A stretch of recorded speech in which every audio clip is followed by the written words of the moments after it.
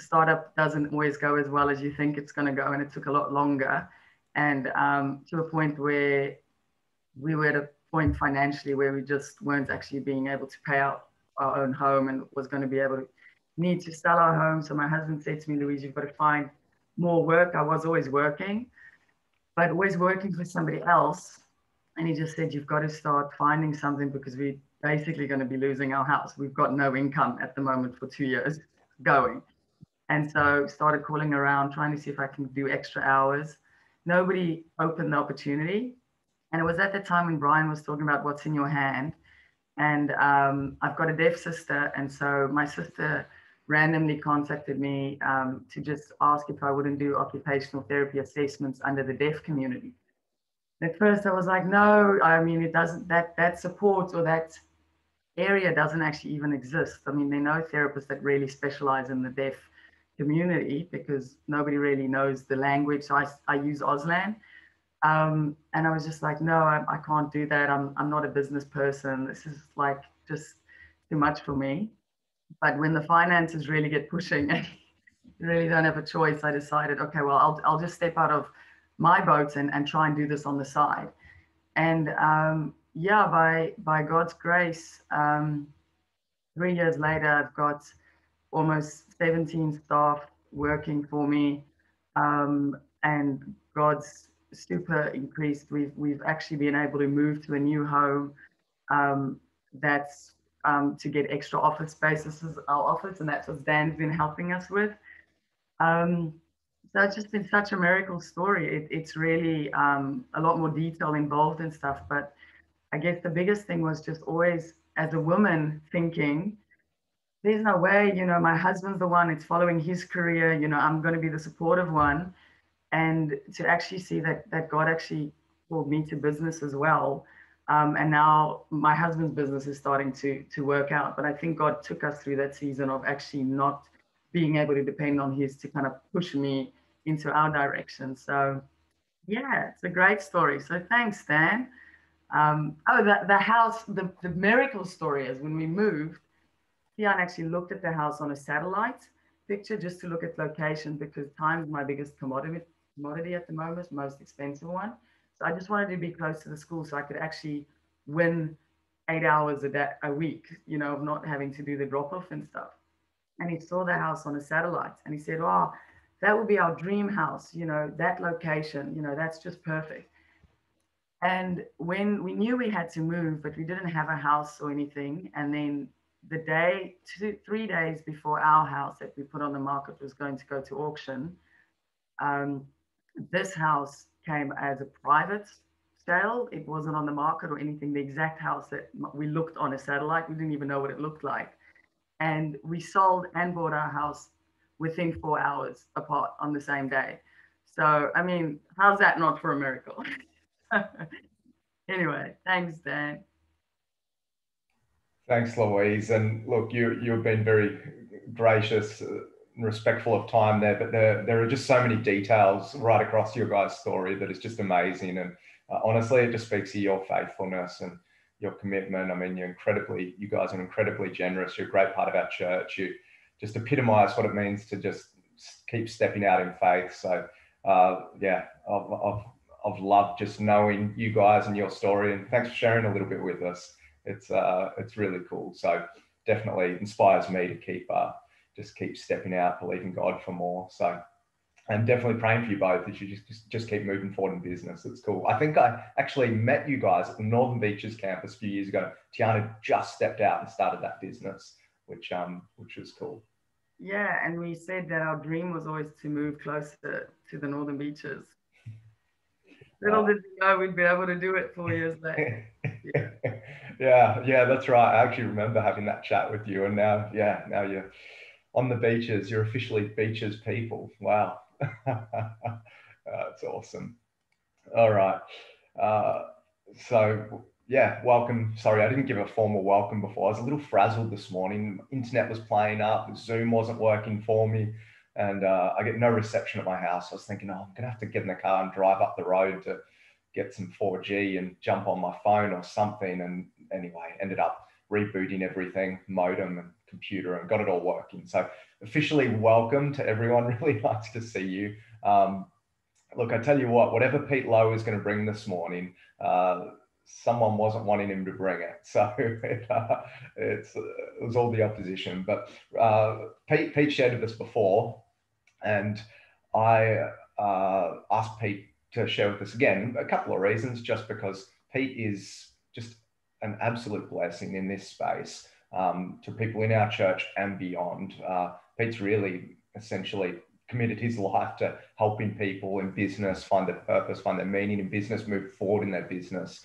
Um, I think we're just blessed to have someone like this in our community, in our church. And um, yeah, I'm actually going to be uh, going and attending one of, I know when I started my business a few years ago, I attended a couple of Pete's um, 100X events. And I've, I've told him he's got permission just to speak about what he does there and um, everything like that. Obviously, um, yeah, anyway, but I attended. It was so helpful for me. It was genuinely so helpful. I know it's been. I know a lot of people, particularly business owners, but not just business owners. If you're work, if you're a career focused person, I think what Pete has to offer is great. But I know some of the things he does is specifically for business owners. is awesome for me, Pete.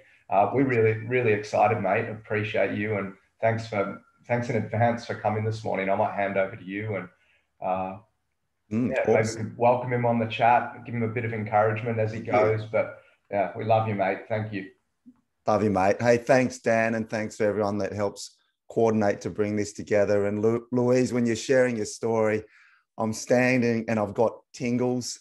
Um, it's awesome. I'm glad you're on the northern beaches. I spent a bit of time here, so looking forward to meeting you.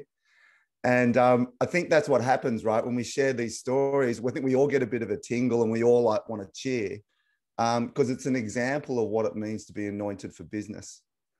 Like everyone on this call, we're doing a, a business connect. And the part that we play in the body of Christ is no more, but also no less important than uh, what else goes on here.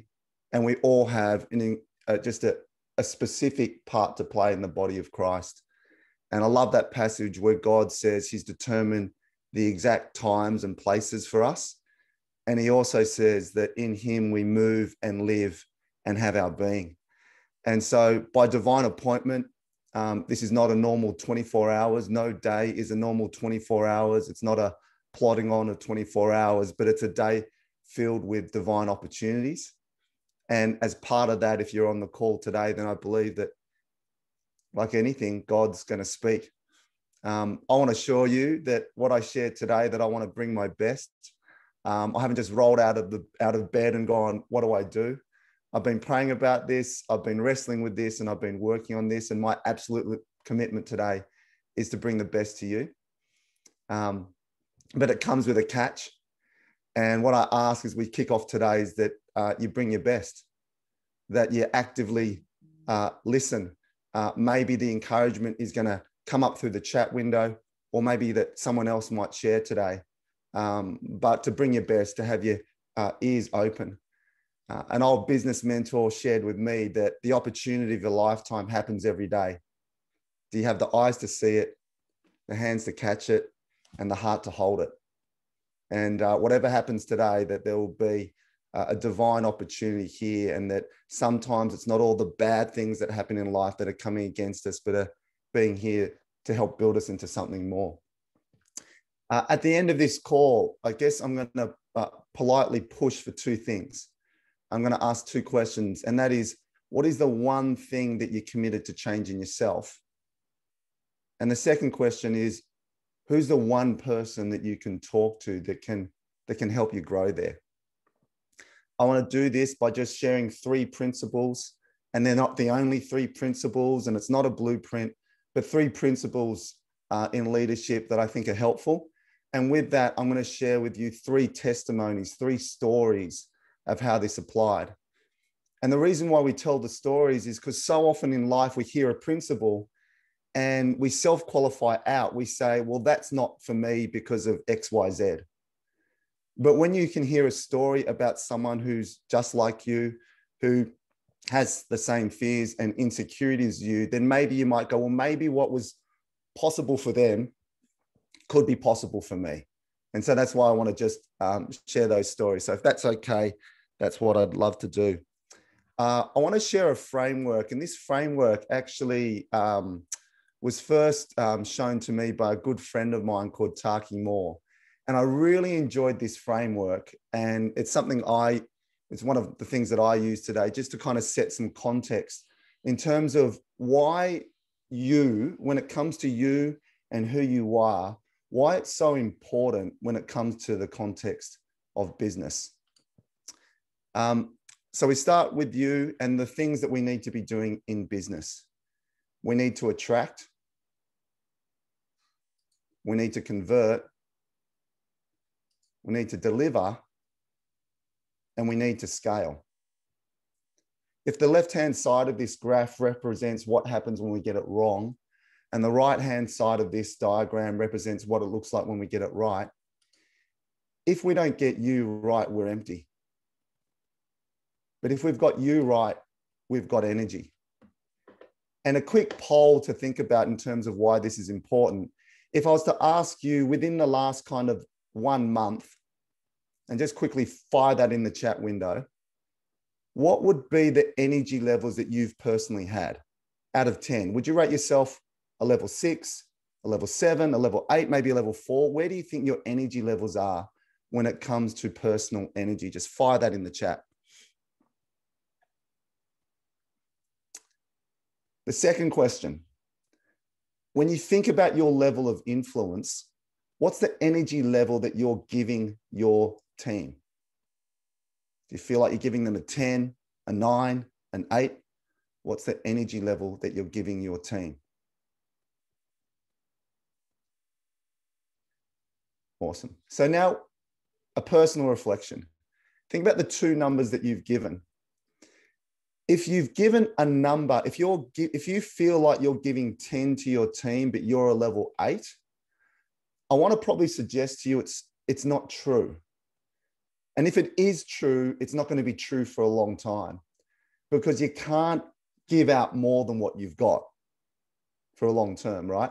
So, as leaders, if we're at an energy level nine, we need to understand that the people around us are going to be at best an eight and maybe a seven. And that if you're consistently showing up and you're feeling like you're giving out a 10 and you're feeling like an eight, well, of course, that's why it's going to lead to empty on the gauge. And the other thing is you've got if you've got someone consistently in your team that has a higher energy level than you, they're going to eventually leave. There's a reason why there's a saying that people don't leave jobs, they leave managers. It's because we need people that are going to take us to another level. Second one, attract. If we don't attract, we're unknown. No one knows us. We're the world's best kept secret. It's like my mum's dumpling recipe. You guys don't know it, but it is epic. I used to, hey, true story. At high school, I used to take my dumplings to school and everyone would go, you know, like Asian food wasn't big in the 80s, but it would be like, what is that? And everyone would curl up their noses and then they'd eat a dumpling. And then I kid you not, I had people queuing up to eat my mum's dumplings and they'd pay me money. And then I'd go and do what everyone else does and buy a hamburger but attract. We need to attract. If we don't, we're unknown. But if we can attract, we've got an audience. Then what do we do once we've got that audience? If we can't convert them to a client, and we're not trying to convert everybody, we're not we we whatever businesses and influences we've got, we not everyone is a client of ours or in our circle of influence when we you know whether it's business or something else. So if you can't convert, there remain a connection, and that's not a bad thing. But if you can convert, they turn to a client. Once they're a client, you need to deliver on what you promised, and that's all about integrity. And if you don't deliver, well, then someone is needy. But if you can deliver, then what's going to happen is that they're going to get results. What happens when client gets results? They stay with you, they tell other people, and eventually you need to scale. And if you don't do this, you're overloaded. And if you can do this, you've got freedom. This is where you start getting margin, whether that's time, money, or mission. This is where you start getting some margin. And I want to suggest after that, you've got to do something with your margin. And probably all through these scales, you need to do something with your margin. if you don't have a purpose where the betterment of your life is the betterment of others, well, then you're just going to simply exist. And I think we all know people in our life that have means, but they don't have meaning, and therefore their life is meaningless.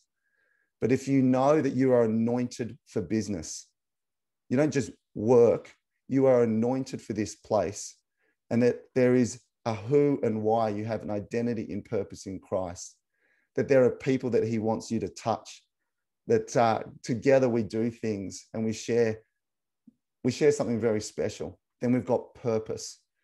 Um, I was sharing with a friend the other day. Um, shout out to you, Andrew Denton. But you know, the goal of life is not at the end of our life that we spend our life picking up seashells on the beach. And I want to suggest to you when we think about happiness to think about the three P's.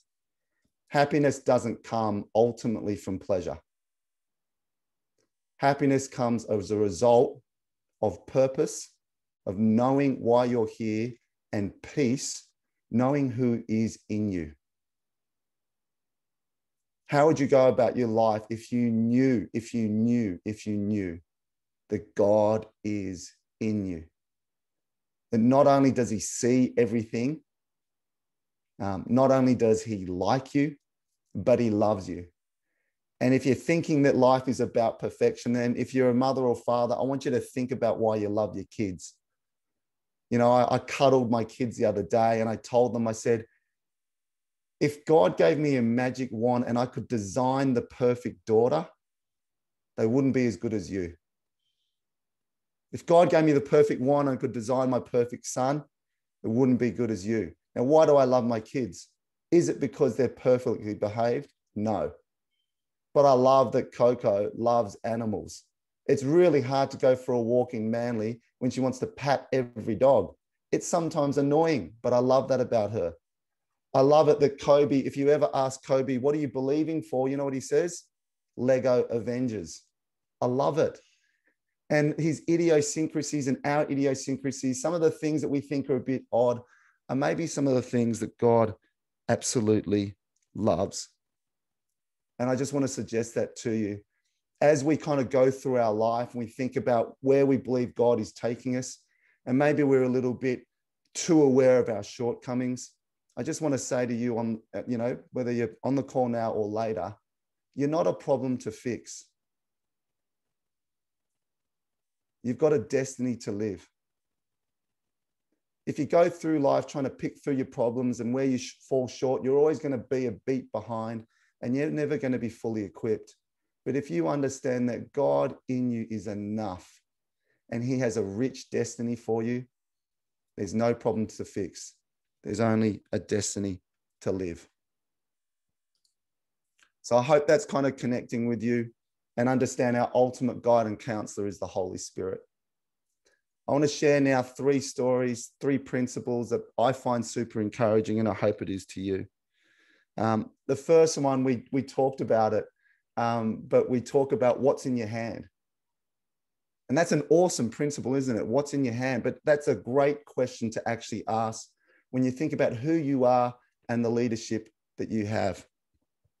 Um, super quickly, I just want to get a very quick poll. Dan's going to put a, a poll on Zoom very quick. But the question one, I just want to get a quick read of where everyone is. If you run a business or an organization, hit the word run. If you work in an organization and um, help someone else, hit the word in. If you've uh, recently found yourself out of work or reduced hours, just write, type, hit the word less. As you do that, there's a second question, which is in the last 12 months, what best describes your work or influence? If you've had a significant change in the last 12 months, hit that. If it's more of the same, just hit that. So, um, just Andrew as an example, you know, he's launched his book, a podcast is coming out. That's a significant change. Um, you don't have to have changed your whole business or whole career. Maybe you have, but has there been a significant change? Okay, so super quick on the poll. I'm not sure if you guys can kind of see that. Most of you have come in and um, hit the buzzer, but a lot of us um, are running business or in. And what's super interesting, the last time I spoke a year ago, Um, at the moment, we've got, you know, a smaller group of people that have had uh, less, uh, whereas 12 months ago, when I asked that question, a lot more people were saying less. And so, whilst we might not all get to share our story, it's very clear over the last 12 months that things have shifted for a lot of people in this group. And uh, for the person that's hit less, um, I'm not sure who you are, but definitely want to be praying for you at the end of this call. Um, interesting, two thirds of us have said that there's a significant change, and a third of us have kind of said more of the same. And um, we can end that poll now. But I believe what I'm going to share in these principles are going to be um, helpful for you in wherever you are. So, principle one what's in your hand? Um, trying to work out what's in your hands not always easy because we all have something special, but when it's in us, we don't think it's special. We don't realize some of the things that we've got that we find easy, but for someone else is absolutely complicated. So there are functions that we do in our leadership influence, some that are high energy and high impact. And there are some things that we do that are low energy, they, they, they really drain us, and they're low impact on the business. Obviously, for those low energy, low impact tasks, we want to put give that to someone where it's their high energy and high impact.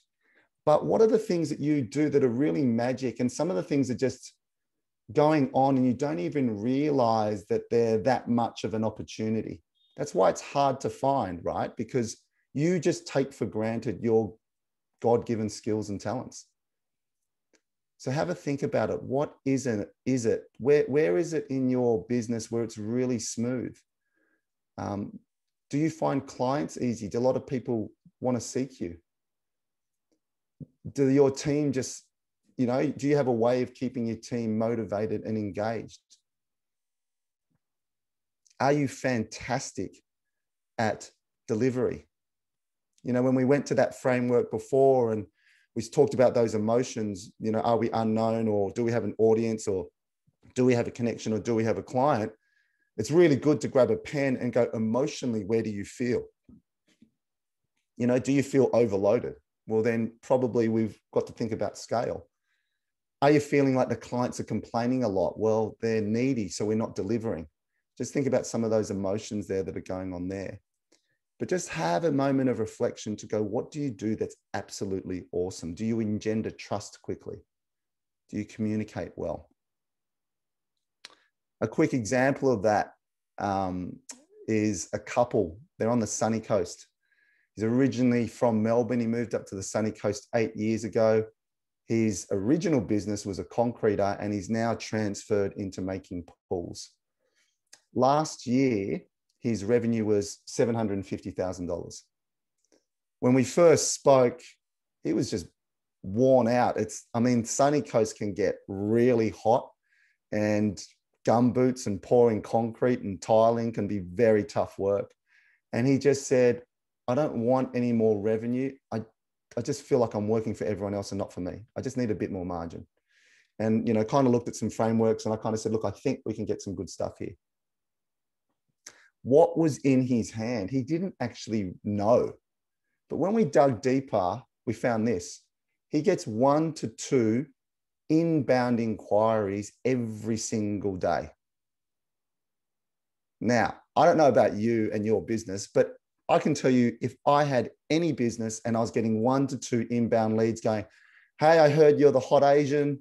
Um, can you help me? And that was happening every day. I would be absolutely stoked. But here's the other thing that we dug deep. Last year, for every 100 quotes he put out, he only won 5%.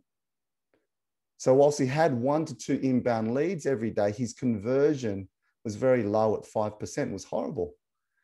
And uh, we kind of worked through and said, look, if you don't have a sales system, you're going to be victim of someone's buying system.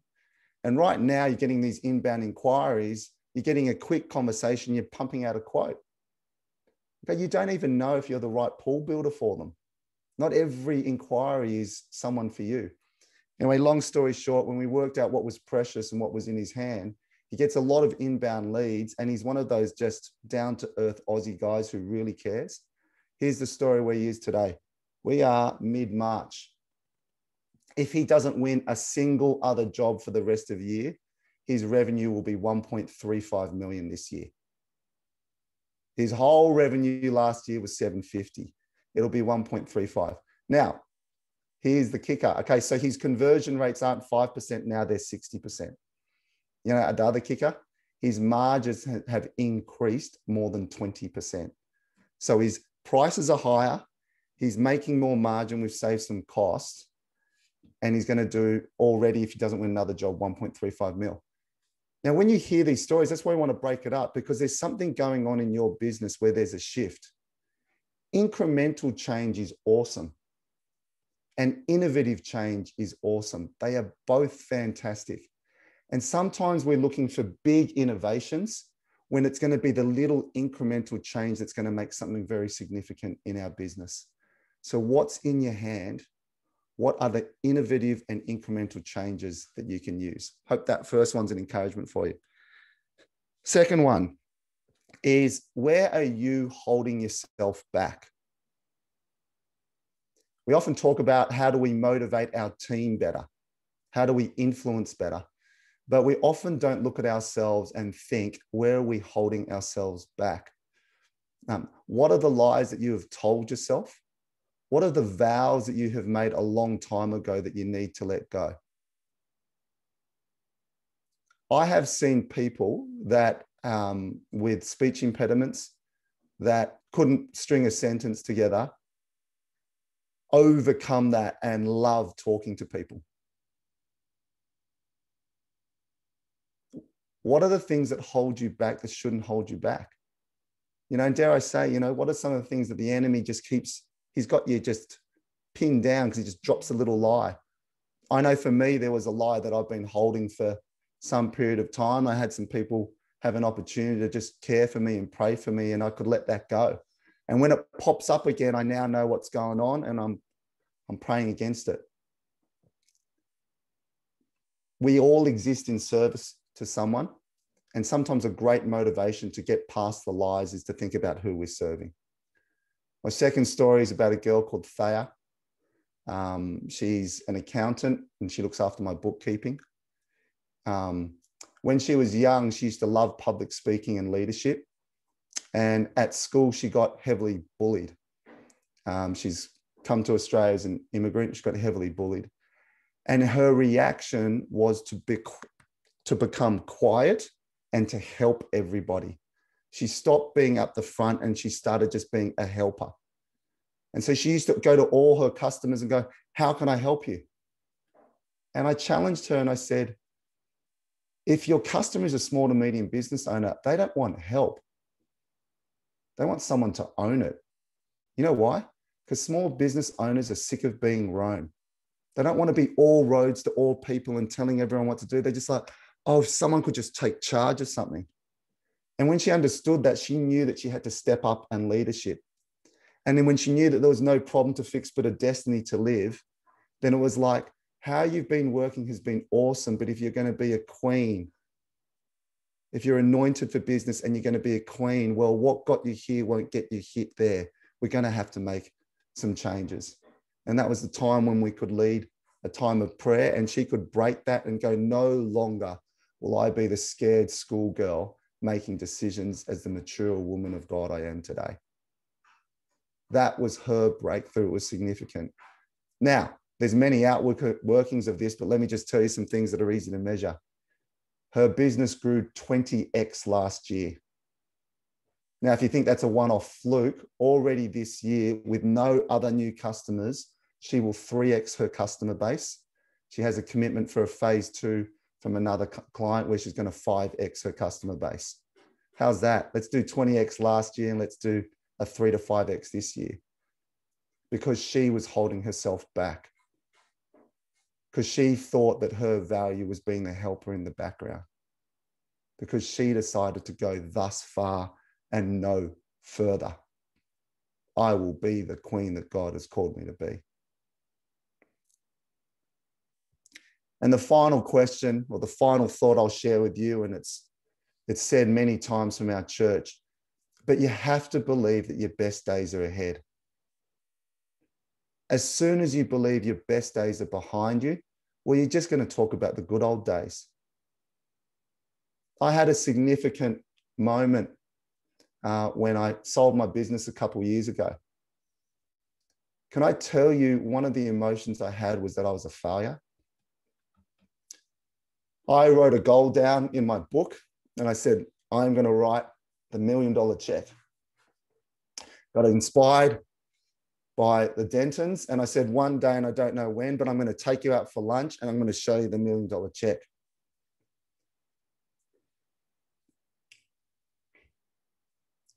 When I sold the business, I thought I'm a failure because I didn't hit that number.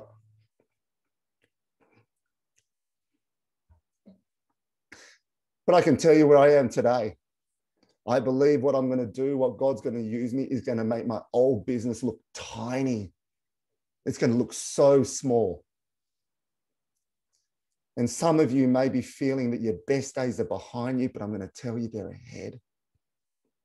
Because as soon as you believe your best days are behind you, you begin to consolidate. You begin to play safe. You begin to make decisions out of sight and management and not faith and future. Now, I want to tell you a story about a mate of mine. He rang me up one year ago. His name's Keith. He runs a fabrication shop in New Zealand. When I was asking for his numbers and he's typing them in, I thought he was using dashes for the numbers in terms of his last performance. And you know what? Those dashes, they weren't dashes, they were minuses. In the last two and a half years, he's lost $300,000. He's calling me up because he's about to sell the house. I've got to be honest, I'm thinking, oh my goodness, what's going to happen here? In 11 months, it goes from negative 300 accumulated debt in two and a half years to $115,000 profit. Now, here's the kicker his five year old niece has an incurable brain disease. Well, that's a diagnosis. What does he do? He goes to his creditors and he says, Can I extend my credit terms and I want to give some proportion of my sales to make my niece's life a little bit more comfortable. Now, I don't know about you, but all of us go, oh, yeah, of course you do that. But I want to challenge you this. You've been running your business for years and you've accumulated $300,000 in debt. You've made a profit of 115, but you're still six figures in debt it would be very tempting to go, well, it's not us to give. Okay? The only reason he gives is because he believes he's just beginning and that his best days are ahead. I want to contrast that to someone else. They had a consultant business. It, they were doing a been running it for 11 years, doing about 150. In one year, we got that business to 750. You know what the person does? Calls me up and says, Oh, I don't want to work this way anymore because I just want to consolidate. You know what? Because his limit of what he thought God can do in his life and his business was 750. This is my best. I just need to consolidate.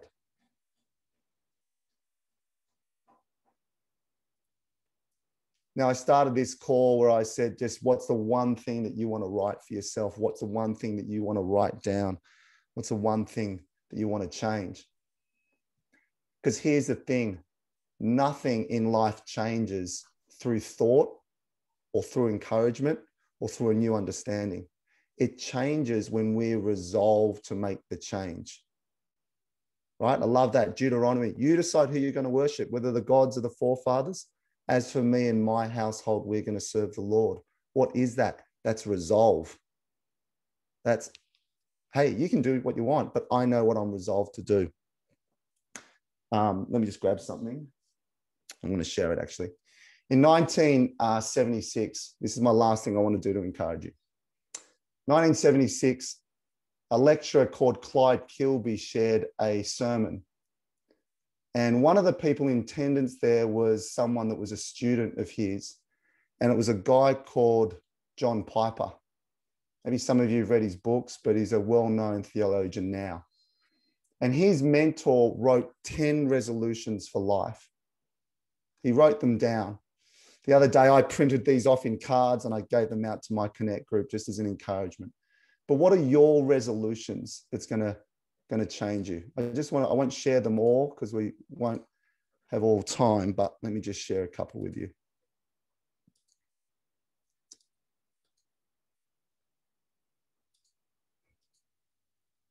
Resolution.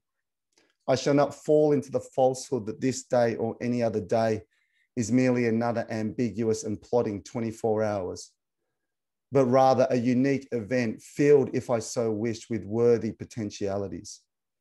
I shall not be fool enough to suppose that trouble and pain are wholly evil parentheses in my existence, but just as likely ladders to be climbed toward moral and spiritual maturity. We don't live in a random world. The things that are going to happen to you today are not just random. It's not just good or bad, but they're opportunities. There's an opportunity that's happening. Don't fall into the falsehood it's just another plotting 24 hours. This one. I shall not demean my own uniqueness by envy of others. I shall stop boring into myself to discover what psychological or social categories I might belong to. Mostly, I shall simply forget about myself and do my work. What are the things that you've despised that God is saying that I find so precious and unique?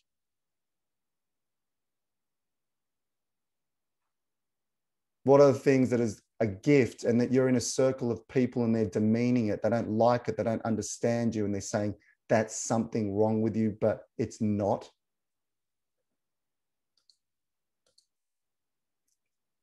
I shall sometimes look back at the freshness of vision I had in childhood and try, at least for a little while, to be, in the words of Lewis Carroll, the child of the pure, unclouded brow and dreaming eyes of wonder you know, so often you can just share with people and you ask, look, what made you know that God was real? And they can talk about when God spoke to them, maybe as a child, or what they used to see as a child. What if we could have that wonder right now? What if our best stories of God's revelation weren't yesterday but happened tomorrow? And this one, my favorite. Even if I turn out to be wrong, I shall bet my life on the assumption that this world is not idiotic, neither run by an absentee landlord, but that today, this very day, some stroke is being added to the cosmic canvas that in due course I shall understand with joy as a stroke made by the architect who calls himself Alpha and Omega. I'm laying a bet on the betting table. Maybe I'm wrong and maybe I'm right. But I'm believing there's an alpha and omega. I'm going to have questions, but I know where I'm laying my bet. Where are you laying your bet? Life is just way too short. And there are events that happen in our life that make us realize life is too short it's too short to keep our lives small because of old fears. It's too short to keep it small because of the envy of others. It's too small to think that this life is just physical. And it's too short not to lay a bet. Is God real to you? Or is church a community club where we sing? But if God is truly real and you believe he lives in you and he loves you and he quiets you with love and he rejoices you over with loud singing, what would be the decisions that you make today and how would they be different? Now, with a minute or two left, I want to pray for you. And um, yeah, you can have your eyes open, your eyes closed, it doesn't matter. Holy Spirit, I want to thank you for everyone on this call. I want to thank you that they are anointed for business this means that they are set apart. And whilst we're here virtually, in the name of Jesus, I anoint you with oil, that you are set apart, that your life is not an accident, that it is not a mere plodding 24 hours, but there is a God of divine appointment. There is a God of divine love. And some of you are holding on to fears right now. And I want you to know that God can be trusted with it. Something that you've buried, God can be trusted with it. A vow you made when you were a kid out of hurt, God doesn't want you to hold it. He wants you to cling to a promise, not a personal vow, but a promise that He is in you. The things that have entangled us in the name of Jesus, we cut a sword through those chains that hold us back. Where our hearts are brokenhearted, in the name of Jesus, you bind the heart together, you bring it together for healing. You are the Alpha and the Omega. You are the first word and the last word. And we are involved in a story in the middle, but there will be an end. And I pray for Holy Spirit anointing and divine appointment that you bless the fruit of the hands of everyone on this call. In the name of Jesus, amen.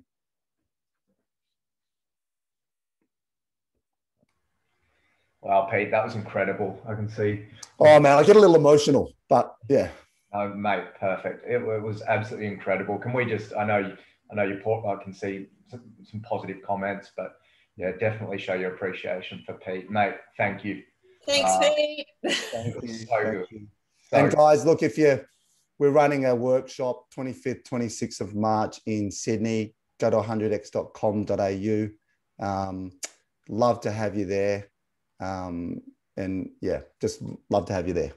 I'll be, I'll be there. So I know Sam Sam Referacci is going to be there. Yeah. Uh, so yeah, if you if you want info on that, you know you can catch that 100x.com.au or hit me up as well. So um, all right, well we're right on time. Pete, thanks again, mate. Mm.